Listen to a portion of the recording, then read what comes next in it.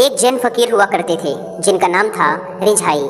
एक दिन वह एक गाँव के रास्ते से गुजर रहे थे, तभी एक आदमी पीछे से आया और उन्हें लकड़ी से मारकर भागने लगा। इस भागा दौड़ी में और रिझाई को चोट पहुँचाने के चक्कर में उसके हाथ से लकड़ी छूट गई और वहीं ज़मीन पर गिर गई। रिझाई लकड़ी उठाकर उसके पीछे दौड़े और कहने लगे, मेरे भाई, अपनी लकड़ी तो लेते जा। यह सब एक दुकान का मालिक देख रहा था। उसने ऐसी विचित्र बात पहले कभी ना देखी थी। दुकान के मालिक ने कहा पागल हो गए हो क्या?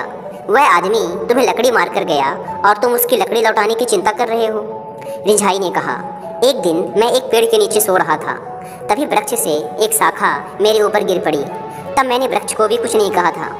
आज इस आदमी के हाथ से लकड़ी मेरे ऊपर गिर पड़ी। मैं इस आदमी को क्यों कुछ कहूँ?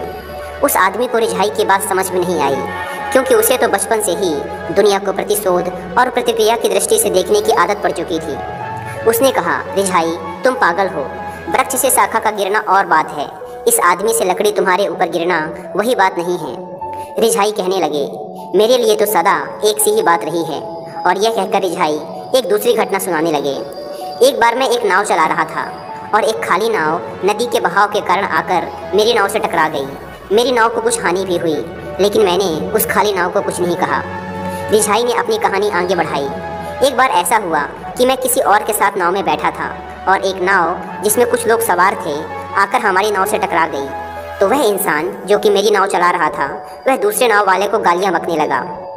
मैंने उससे कहा, अगर नाव खाली होती, तब तुम गाली बकते या ना बकते? तो उस आदमी ने कहा, खाली नाव को क्यों गाली बकता? रिझाई ने कहा, गौर से देखो, नाव भी एक हिस्सा है इस विराट लीला का। वह आदमी जो बैठा है, वह भी एक हिस्सा है। नाव को माफ़ कर देते हो। आदमी पर इतने कठोर क्यों हो? शायद वह दुकानदार भी नहीं समझा होगा उनकी बात को, क्योंकि समझने के लिए बुद्ध हो जाना पड़ता है। जो अंगुली माल तक को माफ़ कर दे।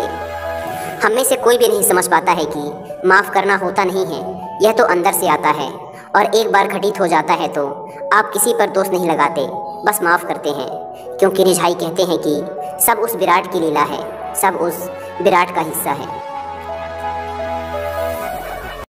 ऐसे ही और वीडियोस देखने के लिए सब्सक्राइब कर लो। मिलते हैं नेक्स्ट वीडियो में।